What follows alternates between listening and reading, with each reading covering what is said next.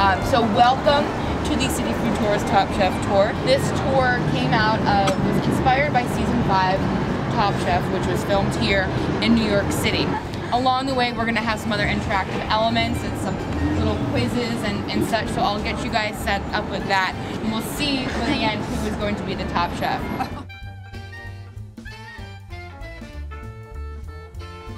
Sheep, for example, have the fattiest milk of the three animals, but it also contains the most nutrients. Sheep's milk cheese. Goat's milk cheese tends to be a little zippier, a little lighter, right? A little lem more lemony tasting. They tend to, it's tend, it's usually less aged, all right? So that's fresh milk cheese. Um, and then cows make the most milk, all right?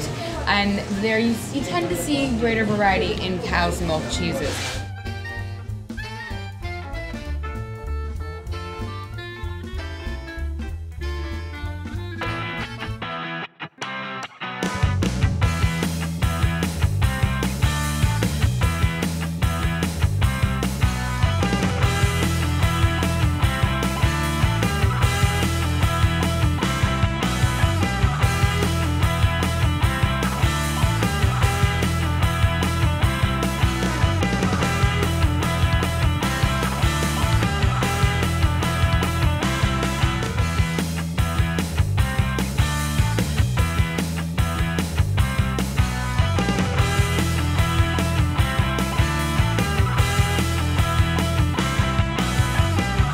This is anatomy of a knife. Okay, this is the spine, tip, edge.